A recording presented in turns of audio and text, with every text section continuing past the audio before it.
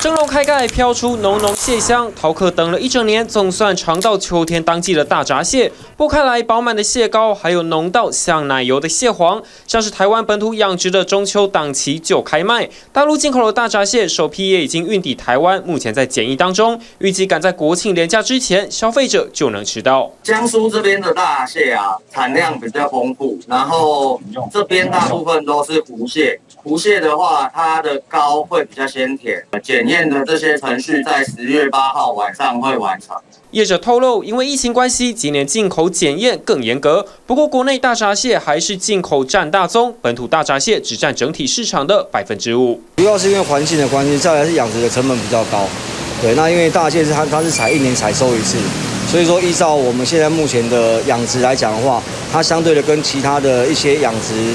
养殖的产品来讲，比来讲，它的获利比会比较低一点。不像大陆、台湾池子比较小，放养密度高，大闸蟹养殖更不容易，育成率只有惨淡的一到三成，数量影响价格。以一只五两重的蟹来说，台湾平均七百元左右，但大陆只要四百元。